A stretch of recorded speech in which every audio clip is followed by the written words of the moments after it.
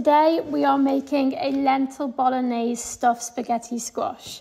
So let's get into it. First things first, pre-roasting our spaghetti squash.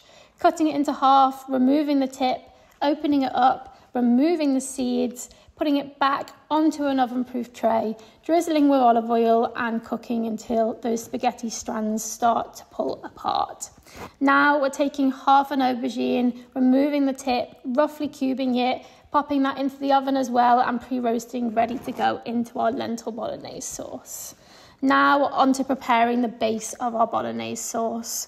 I'm taking one whole onion, cutting it into half, removing the skin and very roughly chopping this on both sides. Now I want to keep the cubes nice and small as we want this to be able to cook all the way through without it taking too long on the hob. Same with the celery, I'm cutting it into strips, cutting it into cubes and popping that to one side. Next up, the carrot. Half a carrot, cut in half again, cut into strands and then cut into cubes, making sure that these ones are not too thick as the carrot is obviously harder to cook all the way through. Next, we are taking one large clove of garlic, removing the skin and very roughly chopping this as well. Once that's done, popping it to one side and we're ready to take some sun-dried tomatoes, get those out the pot, chop them up very roughly, pop them back into that pot, and we're going to be using that a little bit later on. Now onto the cooking process. We are just going to saute these vegetables down, sweat them out. Once that's sweated for a little bit, adding in some fresh herbs.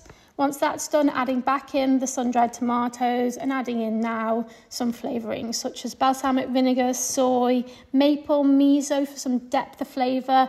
In goes those lentils, some stock, some tomato puree, some tomato sauce. Back in goes those aubergines, and we are ready to get onto our cheese sauce. Sauteing some carrots, some onion, a little bit of mustard, some silken tofu for creaminess, some nutritional yeast for cheesiness, and we're ready to assemble. We're going to pull apart those spaghetti strands, and at this point, we are just layering. So once those strands are ready, we're going to put the bolognese sauce on the bottom.